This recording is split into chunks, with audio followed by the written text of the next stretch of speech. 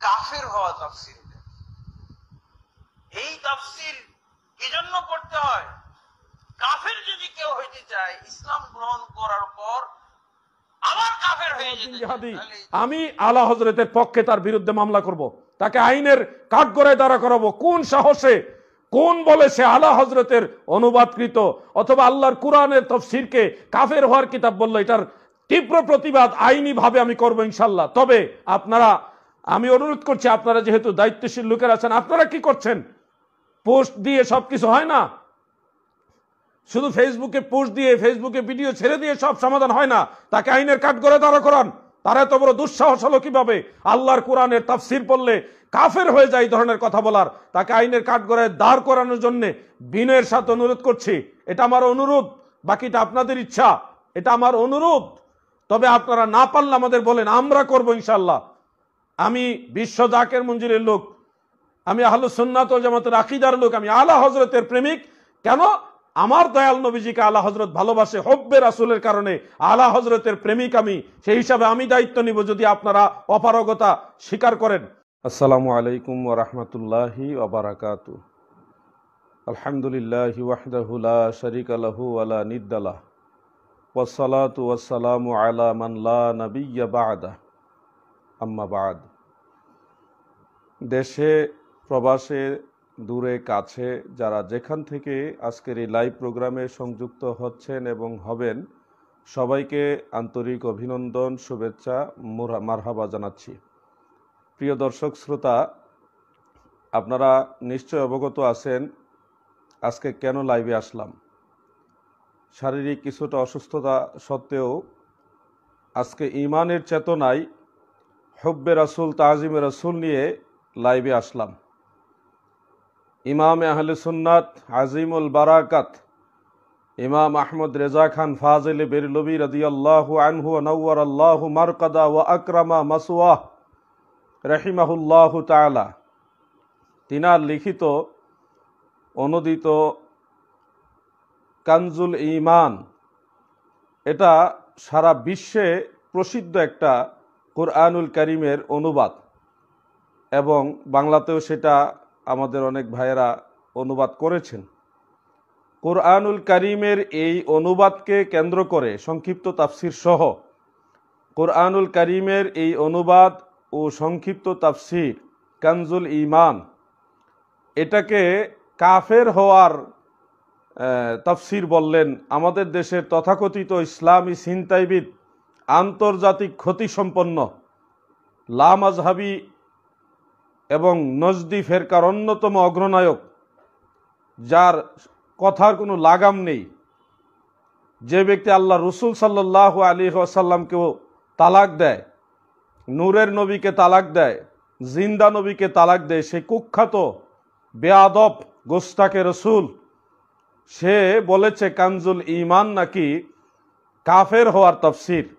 নাউজুবিল্লাহ মিন জালিক আমি আপনাদেরকে তার বক্তব্যটা শোনাতে চাচ্ছি। আশা করি আপনারা অনেকে শুনেছেন। যদি নাও শুনে থাকেন, আমি আজকে আপনাদেরকে শোনাতে চাচ্ছি যে আল্লাহর কোরআন এবং কোরআনের তফসির পড়লে কোনো মুসলমান কাফের হয়ে যায়, এই ধরনের আজগুবি কথা আজব প্রাণীদের মুখে শোনা যায়। আল্লাহর কোরআন, কোরআনের তাফসির পড়লে যে কাফের হয়ে যায়, এই ধরনের আজগবি কথা আজব প্রাণীদের জবানে শোনা যায়। প্রিয় দর্শক শ্রোতা, নিশ্চয়ই আপনারা এই ভিডিওটা শুনেছেন। আমি আপনাদেরকে পুনরায় সে ভিডিওটা শোনাতে চাচ্ছি। মৌলবী আকরামুজ্জামান বিন আব্দুল সালাম এই ধরনের প্রাণীরা আমাদের দেশে বসবাস করে। যারা কোরআন শরীফ বা কোরআনের তাফসির পড়লে নাকি কাফের হয়ে যায় এই ধরনের বক্তব্য দেয়। আপনারা জানেন আমাদের দেশে অনেক তফসির রয়েছে। যেমন মারিফুল কোরআনের একটা তফসির রয়েছে, সংক্ষিপ্ত তফসির সহ। যেটা আপনারা পাবেন। অ্যাভেলেবেল পাওয়া যায় সৌদি সরকার থেকেও ফ্রি হাজি সাহেবানদেরকে এটা দেওয়া হয়েছে। তো সেটা পড়লে কাফের হয়ে যায়, এই ধরনের কথা কেউ বলেনি। এরকম আরও অনেক সংক্ষিপ্ত তাফসির সহ কোরআন রয়েছে, যেগুলি পড়লে কাফের হয়ে যায়, এই ধরনের আজব কথা কেউ শুনেনি। কিন্তু আমাদের দেশের এই আজব প্রাণী, মাঝে মধ্যে আমরা আজগবি কথা এই আজব প্রাণীটার জবানে শুনি। আপনারা শুনুন, উনি কি বুঝাতে চায় এই যে একটা তাফসীর এটা কি তাফসীর কাফের হওয়া তাফসির। এই তাফসির কি জন্য করতে হয়? কাফের যদি কেউ হইতে চায় ইসলাম গ্রহণ করার পর আবার কাফের হয়ে যেতে চায় তাহলে এই তাফসির পড়লেই যথেষ্ট। এটা এই দেশের তাফসির। এটা এই দেশে ব্যাপকভাবে পড়া হয়। এই দেশে স্বীকৃত। বলা যেতে পারে সরকারি ভাবেও হয়তো এর মর্যাদা আছে। ইসলামী ফাউন্ডেশনে গেলে এই তাফসির ইন্না ইলাইহি প্রিয় দর্শক শ্রোতা, আপনারা তার বক্তব্যটা শুনলেন। এই লোক একসময় বলেছিল যে, যেই নবীটা জিন্দা নবী, তাকে আমরা তালাক দিয়ে দিলাম, নাউজুবিল্লাহ। আল্লাহর রসুলের ক্ষেত্রে তারা তালাক শব্দ ব্যবহার করে, নবীজিকে তালাক দেয়। তারা আজকে বলতেছে, কোরআন শরীফের তফসির পড়লে কাফের হয়ে যায়। আমি আপনাদের খেদমতে এটাই বলতে চাই, সচেতন মুসলিম নাগরিক। আপনাদের সকলের ক্ষেত্রে একটা প্রশ্ন রাখতে চাই। বলুন, আল্লাহর কোরআন পরে কেউ কি কাফের হয়? আল্লাহর কোরআন পরে, কোরআনের তাফসির পরে কেউ কি কাফের হয়? এই ধরনের আজব কথা আপনারা আপনারা কারা অ্যাকসেপ্ট করবেন? বলুন। আল্লাহর কোরআন পড়লে কাফের হয়ে যায়, কোরআনের তাফসির পড়লে কাফের হয়ে যায়। এই ধরনের কথা যারা বলে, তারা মুসলমান কিনা, শতভাগ সন্দেহ রয়েছে। আলা হজরত তিনার ব্যক্তিগত কোনো মতামত দিয়ে তাফসির লেখেননি। যদি এটা ব্যাপক আকারে তাফসির না, সংক্ষেপ তাফসির। আলা হজরত তাফসির করেছেন পূর্বশ্বরী ইমামদের রেফারেন্স দিয়ে দিয়ে, বিভিন্ন তাফসিরের কিতাবের রেফারেন্স দিয়ে দিয়ে, আহলুস সুন্নাত ওয়াল জামাতের পূর্বশ্বরী সলফ এবং খলফের তাফসিরকে ফলো করে তিনি সংক্ষিপ্ত তাফসির সহ এটাকে অনুবাদ করেছেন, তর্জমা করেছেন। তো আপনাদের খেদমতে প্রশ্ন রাখতে চাই, পূর্বের যুগের সমস্ত মুফাসসিরিন যারা ছিল, যারা কোরআনুল করিমের তাফসির করেছেন, সেটা ব্যাপকভাবে হোক আর সংক্ষেপে হোক, তারা কি কাফের ছিল? আল্লাহর কোরআনের তাফসির যারা লিখেছে, যারা পড়েছে, তারা কি কাফের ছিল? কোরআনের তাফসির পড়লে কাফের হয়ে যায়, এই ধরনের আজব কথা আজব প্রাণীরা ছাড়া কেউ বলে না। প্রিয় দর্শক শ্রোতা, আলা হজরত কেন আমরা আলা হজরতকে ভালোবাসি? তিনার কি গুণ রয়েছে যার কারণে আমরা তাকে ভালোবাসি? আলা হজরত ইমাম আহলে সুন্নাত আহমদ রেজা খান ফাজেলে বেরলবি রহিমাহুল্লাহ তালা ওয়ানাউর আল্লাহ মারকাদা, তিনাকে কেন ভালোবাসি? আলা হজরত এই নামের লোকটা আল্লাহ রসুলকে তার জীবনের চাইতে বেশি ভালোবাসত। হুব্বে রাসুলের কারণে দয়াল নবীর মহব্বতে আমরা তিনাকে ভালোবাসি। তিনি গেয়েছেন, সবসে আলা হামারা নবী, সবসে ভালাও আলা হামা নবী। আল্লাহর রসুলকে এতটা ভালোবাসতেন তিনি যে হব্বে রাসুলের জজবা নিয়ে, কোরআন, সুন্নার যে সঠিক নির্যাসটা নিয়ে, আহলু সুন্নাতল জামাতের আকায়েদ এবং ফাজাইল এই দুইটা বিষয়কে এমনভাবে ফুটিয়ে তুলেছেন, সারা বিশ্বের সমস্ত বাতিলদের দুর্গ ভেঙ্গে চুরমার করে দিয়েছেন আলা হজরত এই জন্যে তাদের ব্যবসায় ভাটা পড়েছে। এই নজদি গোষ্ঠীরা লামাজহাবিরা তারা আজকে আলা হজরতের বিরুদ্ধে সরাসরি কথা বলার তো সুযোগ পাচ্ছে না। কারণ আলা হজরত এমন একজন ব্যক্তির নাম, যিনি চোদ্দশো শতাব্দীর অন্যতম একজন মুজাদ্দিদ ছিলেন। শত শত নয় হাজারের ঊর্ধ্বে কিতাব লিখেছেন। এমন এমন সাবজেক্টে, বিষয়ে আলা হজরত কিতাব লিখেছেন। এই মৌলবী আকরামুজ্জামান তো দূরের কথা। তার বাপ দাদা চোদ্দ গোষ্ঠীও এই সাবজেক্টগুলি জানবে তো দূরের কথাগুলির নামও শুনে নাই। আলা হজরত এতগুলি সাবজেক্টে, এতগুলি বিষয়ের উপরে কিতাব লিখেছে, যেগুলির নাম পর্যন্ত এই আকরামুজ্জামানের বাপ দাদা চোদ্দ গোষ্ঠীও শুনে নাই। এরা আলা হজরতের সমালোচনা করতে চায়। প্রিয় দর্শক শ্রোতা, কথাগুলি যদিও কঠিন, কিন্তু সত্য। আপনাদেরকে বলি, আপনাকে যদি বলা হয় আপনি কাফের বা আপনার সবাই কাফের হয়ে গেছেন, তখন আপনাদের নিশ্চয়ই ইমানি চেতনা জাগ্রত হবে। কোরআন পড়লে, কোরআনের তফসির পড়লে কাফের হয়ে যায়। এই ধরনের কথা আমরা আগে কোনোদিন শুনিনি। সহি মুসলিম শরীফের মধ্যে এই জন্য আল্লাহ তালা আল্লাহ রসুল সাল্লাহ সাল্লাম বলেছেন যে শেষ জামানা এমন কিছু লোক বের হবে, যারা এমন কথা বলবে যেগুলি তোমরাও শোনো নাই, তোমাদের বাপ দাদাও শোনে নাই। দেখুন আল্লাহর কোরআন, আল্লাহর কোরআনের তাফসির বললে কাফের হয়ে যায়। এই ধরনের কথা আমরাও শুনিনি, আমাদের বাপ দাদাও শুনিনি। হঠাৎ এই আজব প্রাণীরা এসে বলতেছে, কোরআনুল করিম, কানজুল ইমান এটা ইমানের কানজ অমূল্য রত্ন ধন, ইমান জাগ্রত করার, সঠিক ইমানের পথে থাকার। অন্যতম একটা তফসির হলো কানজুল ইমান। এটা পড়লে আহলুস সুন্নাতুল জামাতের দিশা পাওয়া যায়। এটা শুধু বাংলাদেশের কিতাব নয়, এই আকরামুজ্জামান মৌলভী বলেছে যে এটা এই দেশের কিতাব। আসলে এই লোকটা যে কত বড় আজব প্রাণী গর্ধব এটা বুঝাবার মতো নয়। আলা হজরত যিনি এই কিতাবের তর্জমা করেছেন উর্দু, তারপরে এটাকে বাংলাতে অনুবাদ করা হয়েছে। এটা লেখক যিনি, ওনার বাড়ি বাংলাদেশে না, এই দেশে না, ওনার বাড়ি হলো ভারতে, সেই উত্তর প্রদেশে।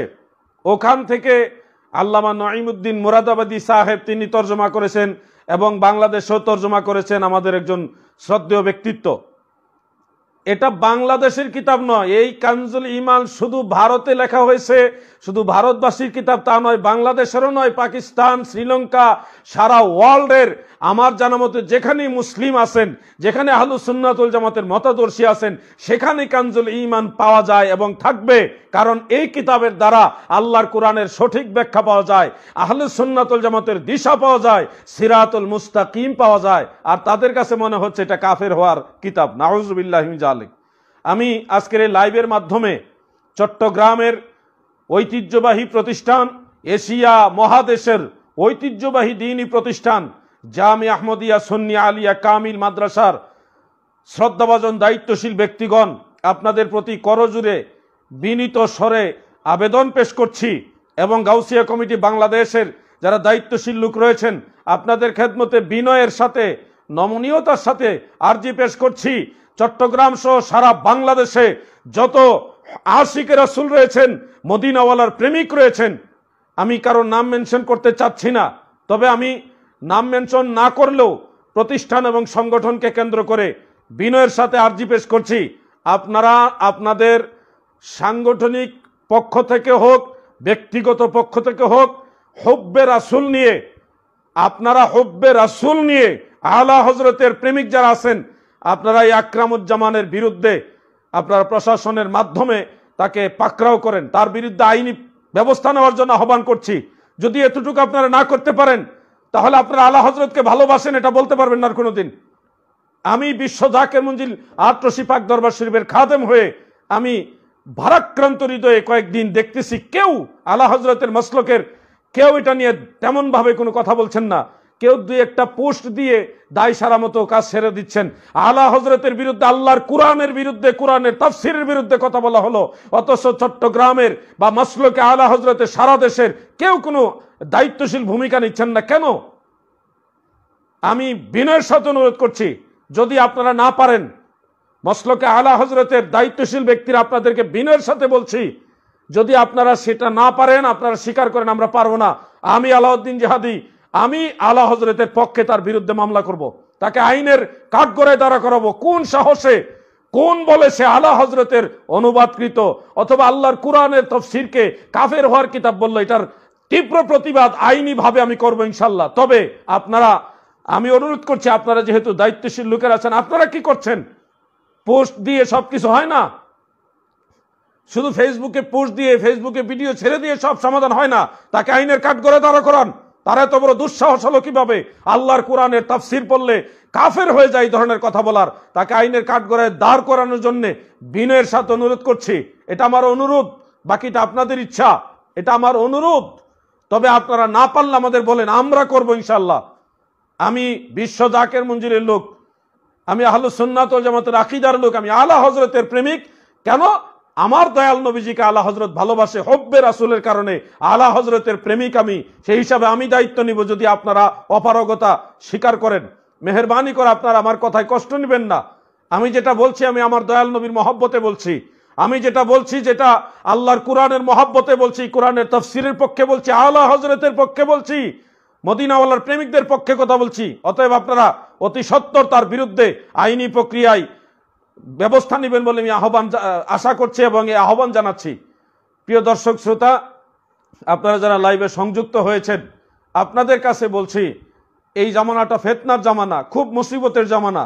আল্লাহর কোরআন পড়লে কাফের হয়ে যায়, নাউজুবিল্লাহ আলেক আল্লাহর কোরআনের তাফসির বললে কাফের হয়ে যায় ধরনের কথা শুনলে গা শিহরিয়ে ওঠে। আলা হজরত ছাড়াও তো আর অনেক তাফসির আছে। সেই তাফসিরগুলির বিরুদ্ধে যখন মতলকান কোনো অ্যাটাকমূলক কথা আসে, তখন কষ্ট লাগে। আমি আলা হজরতের এই কানজুল ইমানের ব্যাপারে হব্বে রাসুলের কারণে, মদিনাওয়ালার মোহাব্বতে এই কথাগুলি বললাম। আলা হজরতকে আপনারাও ভালোবাসেন। কেনই বা ভালোবাসবেন না? এই লোকটা আমার দয়াল নবীজিকে ভালোবাসতে বাসতে সারা পৃথিবীর মমিন মুসলমানদেরকে মদিনাওয়ালার পক্ষে রাখার জন্য সারাটা জীবন কষ্ট করেছেন। সারাটা জীবন কিতাব লিখে লিখে বিভিন্ন সাবজেক্টে কিতাব লিখে লিখে সুন্নিয়তের দিশা দিয়েছেন। হাজার বছরে মুজাদ্দিদ হজরতে শায়েক আহমদ সের হেন্দি মুজাদ্দিদ আল ফিসানি রদি আল্লাহ আনহু আনহুয়ার কাদা তিনি বাদশাহ আকবরের সময়ে যেমনিভাবে ইসলাম ধর্মকে আল্লাহর দেওয়া ক্ষমতায় পবিত্র রেখেছেন, ইসলাম ধর্ম টিকিয়েছেন, আলা হজরত তিনার সময় সমস্ত বাতিল ফেরকার খপ্পর থেকে সুন্নিয়তকে পবিত্র রেখেছেন। হজরতে মুজাদ্দিদ আল ফিসানি রদি আল্লাহ আনহু এবং আলা হজরত ইমাম আহলে সুন্নাত আহমদ রেজা খান ফাজেলে বেরলবি রহমতুল্লাহ আলহে তিনাদের দুইজনের মধ্যে এই বিশেষ একটা ভূমিকা আমি লক্ষ্য করেছি। মুজাদ্দিদ আল ফিসানি রহমতুল্লাহ আলহে তিনি একটা উপমা হলো যে উনি দেহটা রক্ষা করেছেন আর আলা হজরত রুহু রক্ষা করেছেন। মুজাদ্দিদ আল ফিসানি দিন ইসলামকে রক্ষা করেছেন। আলা হজরত ইমানকে রক্ষা করেছেন। এই জন্য এই দুইজন ব্যক্তি আমাদের সকলের হৃদয়ের মধ্যে আজীবন স্মরণীয় হয়ে থাকবে। প্রিয় দর্শক শ্রোতা, আপনাদের খেদমতে আমি আর লম্বা সময় নিতে চাচ্ছি না। আমি আজকে লাইভ শেষ করব। তবে আবার ওই এক লাইন, নাতে রসুল আলা হজরতের গাওয়া সেটা গেয়ে শেষ করব। সবসে আলা हमारा नबी सबसे भाला ओ आला हमारा নবী কত সুন্দর দয়াল নবীজির নাচ শরীফ আলা হজরত লিখেছেন আপনাদের সকলের কাছে দোয়া চাইলাম আবারও দেখা হবে ইনশাল্লাহ আমি আজকে লাইভে যে ক- যে কয়টা কথা বললাম প্রত্যেকটাই সুন্নিয়তের স্বার্থে এই কথাগুলি বলেছি এবং আবারও স্মরণ করাচ্ছি মাসলকে আলা হজরতে যারা রয়েছেন, আহলু সুন্নাতুল জামাতের মতাদর্শী বাংলাদেশে যারা রয়েছেন, এই ধরনের দুই একটা পাজিকে, এই ধরনের দুই একটা গুস্তাকে, রাসুলকে মাঝে মধ্যে যদি আপনারা কঠিন হস্তে দমন না করেন, অদূর ভবিষ্যতে তারা আরও বড় ধরনের বেয়াদবি করবে, তখন এটা চিন্তার বিষয় হয়ে দাঁড়াতে পারে। এই জন্য আমি এই কথাগুলি বললাম, তাকে আইনের আওতায় নিয়ে আসেন। বাংলাদেশের চৌষট্টি জেলায় পারলে চৌষট্টিটা মামলা করেন। চৌষট্টি জেলায় চৌষট্টিটা মামলা করেন। রং দেখেছে? রঙের ডিব্বা দেখেনি। সাগরের নাম শুনেছে, সাগরের তর্জন, গর্জন দেখেনি।